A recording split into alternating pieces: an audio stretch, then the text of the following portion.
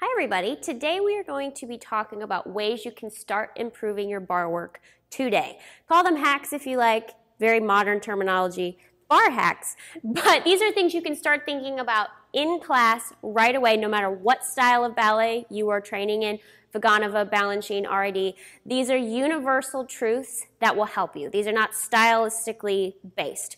So, the number one thing, if you don't remember anything else from this video, the number one thing I want you to remember is that barre is not a warm-up. It is not a time killer. Yes, you are warming up your muscles. You don't just come into the studio and start jumping. I get that. But barre is so important, it is not optional. You know, if it was optional and it was just a warm up, you can warm up in other ways. You can jog, you can run around and do jumping jacks and what whatnot.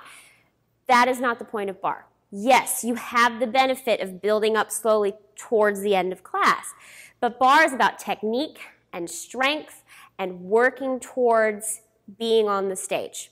So start shifting your focus, and I guarantee you your bar work's going to improve. Because I know all of us get in the studio and it's like, okay, I have to do tendus again. You know what I mean? But shift that focus from, well, I'm just doing these for the sake of doing them, to I'm actually working towards blank.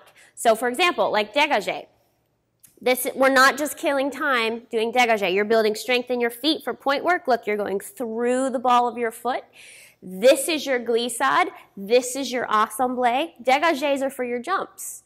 So if you start to think, okay, what am I actually working on, improving and building strength for at the barre to the center, you're going to have a much better attitude. You're going to want to do as many dégagés. I'm improving my jumps instead of, oh, this again. So all it takes is a simple mind shift in terms of your barre if you're having a rough day. Plie. Plie is your foundation for everything. It's not a knee bend. You know, we're not doing squats. This is your pirouette. This is your jump. If you don't have a good plie, you're never going to get off the ground in your jumps. So start viewing barre as very, very essential. It is not an optional step of ballet class. You have to do barre in order to improve, in order to be on the stage. It's just part of ballet that you're going to have to do forever. So really start thinking about that. Shift that focus, and I guarantee you, you're going to be a whole lot happier. So that kind of brings me to the second point. Don't forget your upper body. Anybody off the street can do this. Stick your arm out and hold it. Great. That's not what ballet is. Can you stick it out and hold it beautifully and lift the elbow and have the fingers and lift this and put this? In? You have to remember your upper body. Now, even in, in the Balanchine training, which I was trained, we did not do this whole head thing and back and forth and all this stuff. We were taught straightforward at barre. Even sometimes in arabesque, it has to be straight front. But it's not here. There was still a life. There's still an energy. There's still a lift. Your eyes have to sparkle. Do you know what I mean? It's not just about going through the motions. You know, even sometimes I see other styles just kind of no, this is just as important as this because once you get to the center, if you haven't been using your upper body and you haven't had that life, it's, it's not going to translate. It's really, really not. So start focusing, okay, on plies from the get-go. Here, or using the head. Even for us, when you can't use your head, again, there's still a life and an energy. You can't expect to do a beautiful Giselle if you're not using your head at barre, if you're not having energy at barre. So start using the upper body, and that really, really translates dancers to auditions. Because I have been in auditions watching them where they are decided by dégagé. Teachers know by dégagé if you're going to be able to turn, if you're going to be able to jump, if you're going to be a decent dancer, if you have the look, the style, whatever. I was watching an SAB audition with one of my teachers, and literally after she gave the dégagé combination, she came over and sat down next to me, and she was like, well, I'm good. I know who I'm taking by the third combination. So don't wait and depend, well, I'll start dancing in the center. Well, they'll see me in the center. You have got to make an impression by dégagé, by plie even. Be alive, be present, be there. Being a dancer and being in ballet is a privilege and a gift. Don't ever take it for granted. Trust me on this one. If you're already bored and you're already kind of like, well, whatever, you need to stop now because you're never going to make it. So really alive, really lift. You guys know me, I'll tell you hard truths. You can't forget the upper half in all of this. Okay, third tip, be very careful not to get back in your heels. Again, universal truth. I guarantee you there's no style of ballet that wants you to be back in your heels. I see so many people do tendu like this. So just try something for me. Stand parallel, just normal. Shift the weight to the balls of the feet. I'll do this way. My heels are still down, but there's no weight in them. We're lifted. I feel like I could move and do anything. You know, all muscles are engaged. Now, shift back to your heels. Almost lift those toes up. Do you feel every muscle disengage? Gone. Nothing. And in order to move, you'd have to like reshift. So that translates to plie. Side note, I'm not a fan of the plie like, like this. That's not the point. The point is just to keep the weight in the balls of your feet. As you straighten, don't go back to your heel. Don't tendu and go back to your heel Number one, you're not using your muscles. Number two, you get to the center and you tendu like this and you're going to fall over. so be very, very conscious every time you close into fifth. Again, you don't have to be here. You don't have to plie like this. But just make sure you're staying on the balls of your feet. You don't want to shift back into those heels because you're not going to engage the right muscles and you're going to fall over in the center. And that also works just testing that balance. Test the balance every once in a while. Remember, you're doing all of this to hopefully dance and have a career and be on stage. And with the exception of the ballet etudes, there's no barre on the stage. You're not going to stand on stage and do tendu. Everything is about building your balance, building your technique so you can perform, so you can dance, so you can turn. And there's no support during a turn or a jump or whenever with the exception of a pas but you got to hold yourself up anyway. So start checking that balance, make sure you're on the balls of your feet, and not only will that improve your barre work, that'll also improve your work in the center. Okay, the next tip is for your balance. Please don't be one of those dancers that does one and two and three and four and five. You only have eight counts, six, seven, eight. That's not going to work for you. Trust yourself. Watch. Worst that can happen is this or this. But by waiting and waiting and waiting and waiting and waiting and waiting and waiting and waiting, you, no, you're done. You're gone. The way you want to train your muscles, you want to get them to fire by themselves. You want to get them to know how to engage so that when you're dancing, when you're turning, they're there. The way to do that is to just trust it. Trust it. If you go down, that's okay. Come back up. Find it. That's the way you're going to start improving your balance. Not by hanging out here for seven, seven and a half counts, eight, done. Hope I hope she didn't see me. You know what I mean? Trust it. The worst that can happen, you put your heel down or you re-grab the barre. But what it's going to do is start engaging those muscles to fire by themselves. So that eventually you'll surprise yourself and go, oh, huh.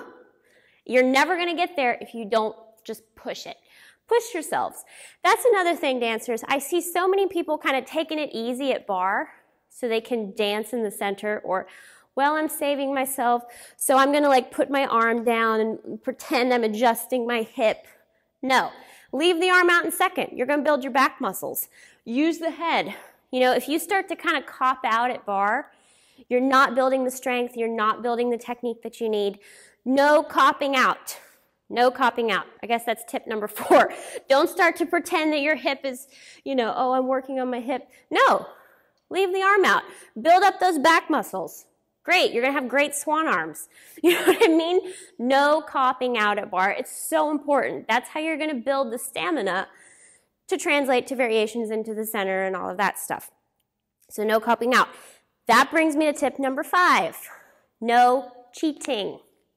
I don't care if little Susie Q is next to you and she's got her leg up here with her foot like this doing a développé. Great, good for her. Don't do this in order to get it up. I know in different techniques, there are different variations. Balanchine, the hip has to be down. Vaganova, the hips are stacked. That doesn't matter. I guarantee you nobody wants this. So they would much rather see a beautiful position, turned out shoulders down, watch that inside shoulder, than you just getting the leg up for the sake of getting it up. Because, translating later, in the center, not cute. And I think the biggest problem with that now, dancers, is Instagram. You have to remember photos on Instagram can be edited.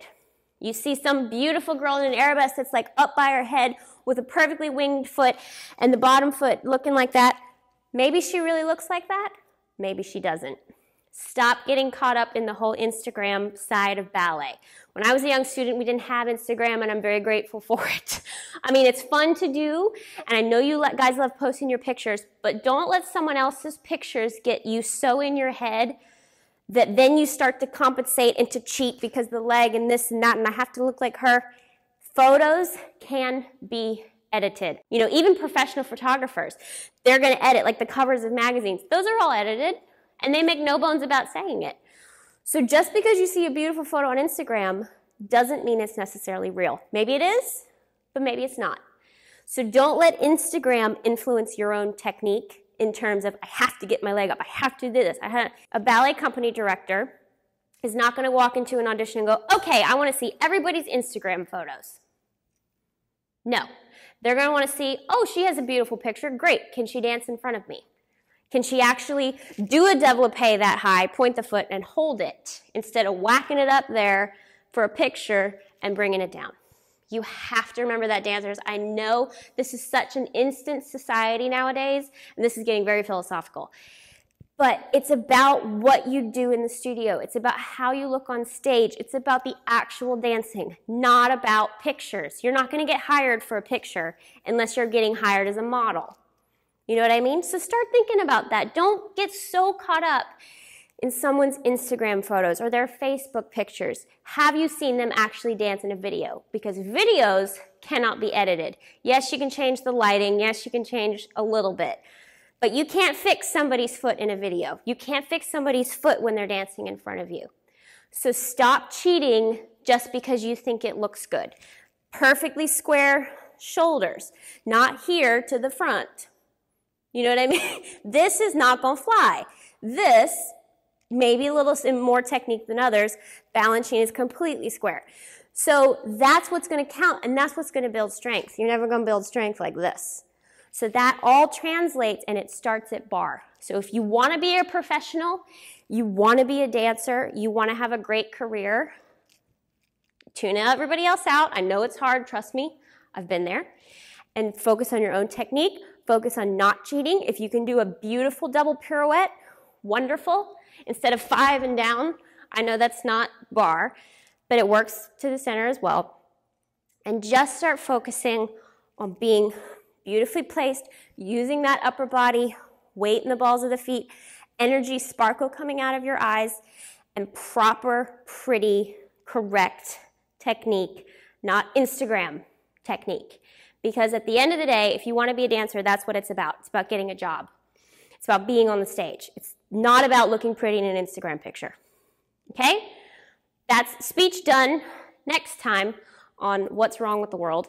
Okay, so start thinking about these things, guys. And remember, barre is so important. I know that it can get boring. I've had those days, but you have to remember this. Pick your favorite dancer in the world. Best dancer, biggest star, whomever it is. They start their day with plies at barre. Marianela Nunez, principal with the Royal Ballet, starts her day with plies at barre. Roberto Bolle starts his day with plies. So I don't care who you are, how big you are, how much of a star you are, you will always be doing barre. You will always start your day with plies. So it's up to you to make the most out of it. It's up to you to get the benefits. Don't just knee bend. No, just knee bending. Really start to think about your barre work in a different way. And I guarantee you, you're going to see improvement in all all of your dancing. So if you have another video request, another variation, another barre, leave me a comment in the box below. If you missed my latest Juliet commentary, which is part two of her room and act two, right down there, you can click it to watch. Love you guys so, so much, as I say every time, and I'll see you next time.